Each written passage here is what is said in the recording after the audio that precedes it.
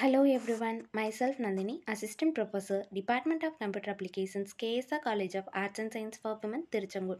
Today we are going to discuss about the subject Computer Network Unit 4 topics. Network layer. Layer 3 in the OSI model is called a network layer. Network layer manages options partitioning to host and network addressing, managing subnetworks and internetworking. Network layer takes the responsibility for routing packets from source to destination within or outside a subnet. Two different subnet may have different addressing schemes or non-compatible addressing types. Routing algorithm. A routing algorithm is a procedure that lays down to the route or path to transfer data packets from source to destination.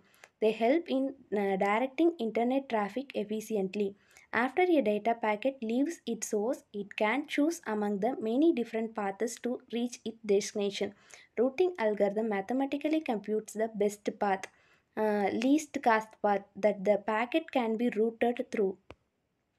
Types of routing algorithm. Routing algorithm divided into two types. Adaptive routing algorithm, non-adaptive routing algorithms. Adaptive algorithms is uh, divided three types. Centralized, isolated, distributed. Non-adaptive routing algorithm divided to two types. Flooding, random walk.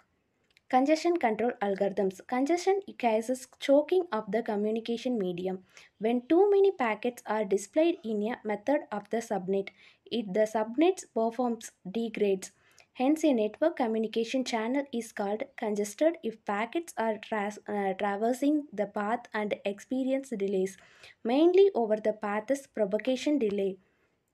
IP protocol. IP stands for Internet Protocol. It, uh, it is a protocol defined in the TCP IP model used for sending the packets from source to destination.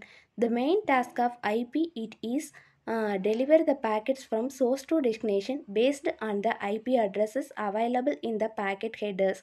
IP defines the packet structure that hides the data which is to be delivered as well as the addressing method that labels the datagram with a source and destination information. IP addresses and IP addresses is the identifier that enables your device to send or receive data packets across the internet. It holds information related to your location and therefore making devices available for two-way communication. The internet requires the process to distinguish between different networks, routers and websites. Therefore, IP addresses provide the mechanism of doing so and it forms an indissoluble part in the working of the internet. Internet control protocol. Internet control protocol uh, works in the network layer of the osi model and the internet layer of the tcp ip model. It is used to send control messages to network devices and hosts. Router and other network devices monitor the operation of the network. When an error occurs the devices send a message using ICMP.